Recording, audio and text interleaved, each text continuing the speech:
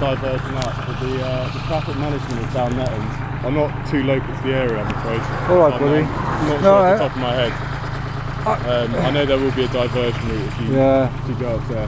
But yeah, off the top of my head, I'm not quite sure. Yeah, I've not long started riding the bike, like, you know, I'm used to a car and you follow the main road. Yeah. So I, I thought I'd come in saying, right, but it, there isn't even the right turn there. No, there isn't.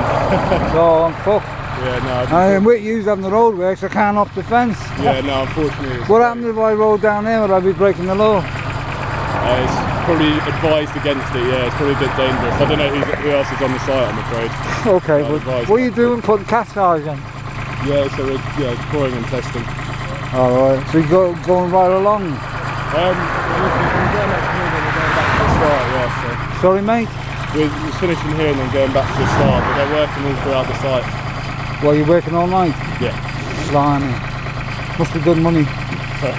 Well, having said that, the Swindon fucking council will be paying you peanuts. Is it Swindon Council?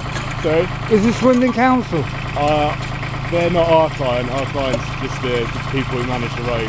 Okay, good. client so.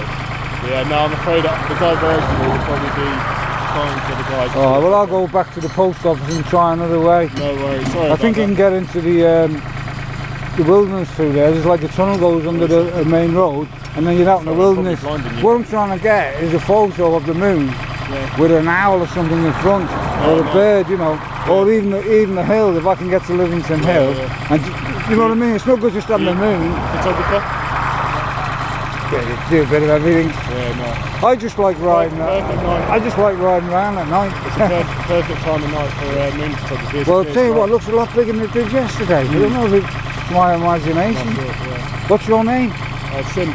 Tim. My name's Mick, Tim. Nice to meet you, buddy. I'll let you get on with your work. Take care. Be Thanks safe. a lot. Watch out crossing that road. It's very busy. All right, bud.